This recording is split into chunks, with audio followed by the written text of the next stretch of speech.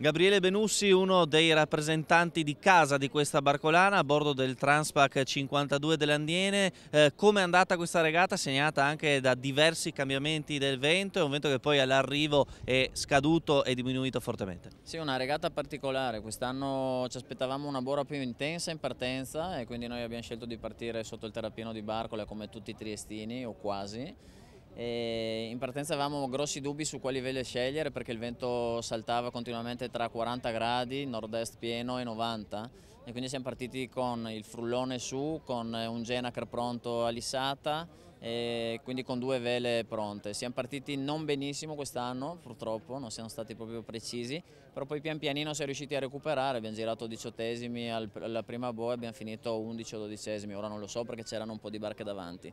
Comunque devo dire che la barca è stata sempre performante, il nostro obiettivo era arrivare davanti alle nostre gemelle visto che eravamo in 5 TP52 e siamo riusciti ad arrivare davanti a tutti questi e quindi questa è la prima soddisfazione, poi la soddisfazione va per Aniene, per il nostro gruppo, eravamo a bordo in 25 pensate su una barca di soli 52 piedi, quindi moltissime persone appunto perché abbiamo voluto portare sia i soci dell'Aniene che hanno sponsorizzato l'operazione e anche gli altri nostri sponsor avevano un posto a bordo. Si sono divertiti tutti un sacco, penso che poi la regata sta ancora continuando, si stanno divertendo un po' tutti, ci sono stati molti cambi di vento e quindi è diventata una barcolana anche abbastanza tattica.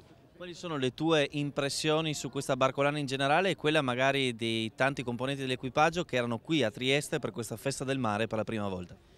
Ma la mia impressione è sempre quella, quando arrivi qui a Trieste e vedi tutte queste persone sulle rive e le, avere la possibilità di ormeggiare le barche davanti a Piazza Unità è una cosa fantastica. Devo dire che è stata una settimana molto intensa, ho visto sempre tantissima gente e, e molti curiosi.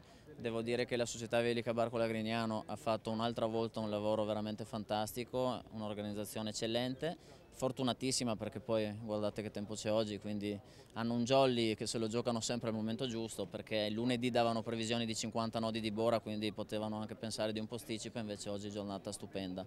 I nostri ospiti sono rimasti estasiati, hanno già detto che torneranno, arrivano da Roma, quindi dalla, dalla nostra capitale e sono rimasti veramente colpiti da tutto questo spettacolo che dà la gente anche adesso a terra e, e quindi il prossimo anno rinnoveranno la loro presenza qui a Trieste.